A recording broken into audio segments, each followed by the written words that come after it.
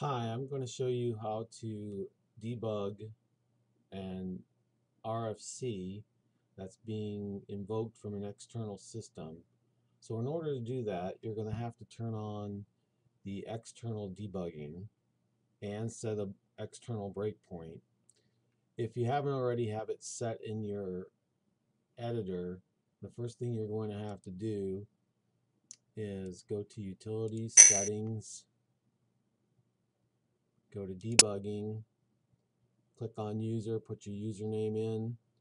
Um, I have this set and um, that will get it, that'll get it so that you'll be able to stop on an RFC. Okay.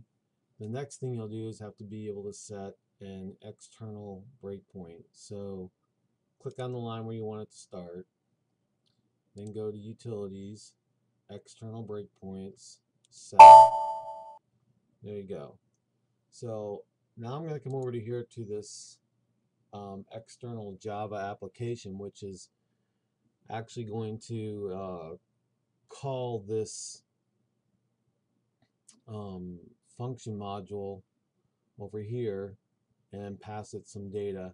So you invoke it by running this task now and boom, there it is. Now I'm in debug mode and um,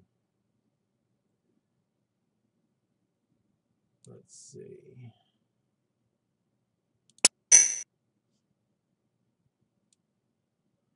One of the tables that's being passed is the from clause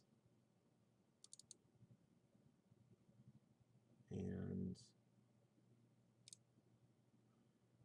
That's the table that I'm going to do a select on. That was part of the data that was being passed.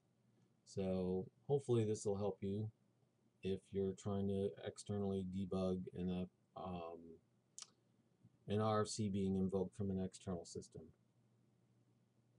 Thanks.